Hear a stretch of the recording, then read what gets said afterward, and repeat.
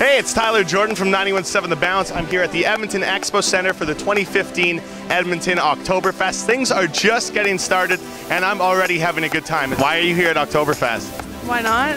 Why not? Is it because you love beer? I've actually been to like all of these Oktoberfest, Beer Fest, all those things. So I was coming actually for the cup, Oh, you're coming for the cup. and I'm staying for the rest of it. Come for the cup, stay for the beer. Best beer you ever had. Koenig, uh, Koenig Pilsner.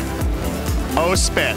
As you can see, the band is getting set up over there. Right behind me, we have a brewing company. To my right, we have a brewing company. To the left, another brewing company. There is so much to drink, so much to do, so much fun to be had here at Oktoberfest.